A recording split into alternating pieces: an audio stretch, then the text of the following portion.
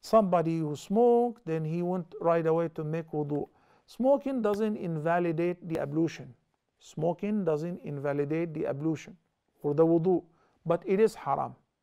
It is most definitely haram because the Almighty Allah says, لا تلقوا بأيديكم إلى التهلكة and He says ولا تقتلوا أنفسكم إن الله كان بكم رحيما.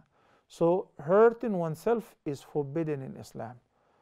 Doing anything which leads to taking the life of oneself or others is absolutely forbidden in Islam and it's a major sin. And it is no secret that smoking kills.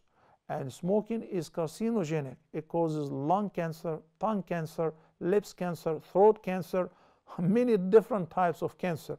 Yet, even though it is written and warning on every single uh, pack of cigarette, but you will find some uh, naive people come forward and say, is smoking okay? Is it just disliked or haram?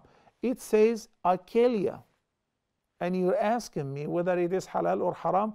I don't see I don't see the question. And I don't see which word on which letter of the word smoking kills that you exactly did not get and you did not understand.